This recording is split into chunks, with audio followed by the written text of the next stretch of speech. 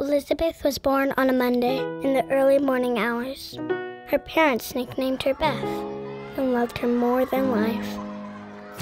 Beth always knew she would be a famous artist and the entire world would love and adore her.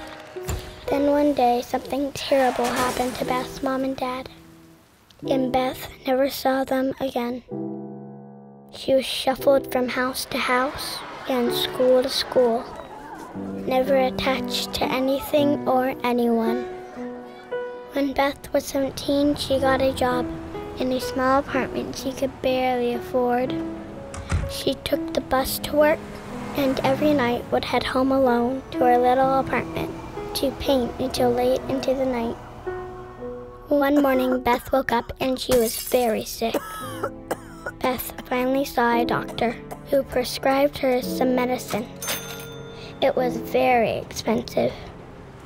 Beth searched for a job closer to her apartment, but there were none to be found. She started selling her belongings, even her mother's jewelry.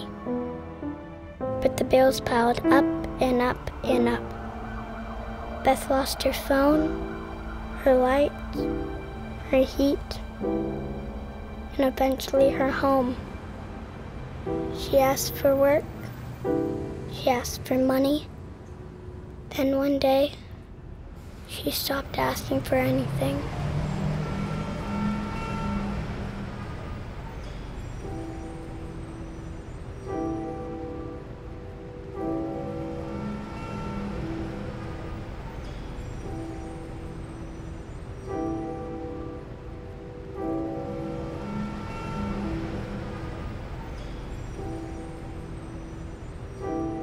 No matter what you want to do, Members Project from American Express can help you take the first step. Vote, volunteer, or donate at takepart.com.